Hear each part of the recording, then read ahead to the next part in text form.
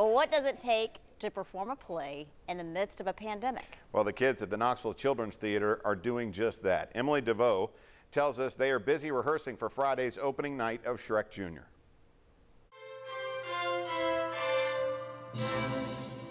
When rehearsing for this play, wearing a face mask is as important as memorizing your lines. We got the face shields about a week or two ago, and we just saw this white band, and I was like, oh, that's, that's not working. We've got to think of something. And then, so I come backstage today, and they're just decorated, and they're beautiful, and I was like, oh, this is gorgeous. It, it really worked out just perfectly. While directing a play in the midst of a pandemic is a first for Jacob Sousley, it's actually his fourth production. And Shrek Jr. feels personal to the rising college freshman. When the theater did Shrek Jr. five years ago, it was my first musical ever that I was ever in. Um, and I played the donkey.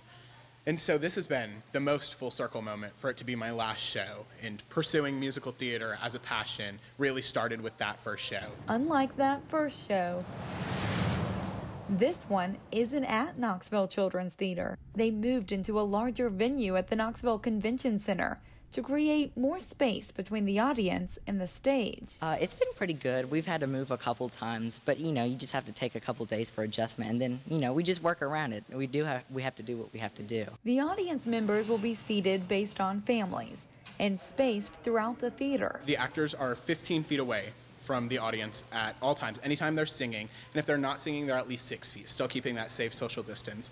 And they've got their um, they've got their face shields on, so there's not a lot of droplets or anything coming out that way.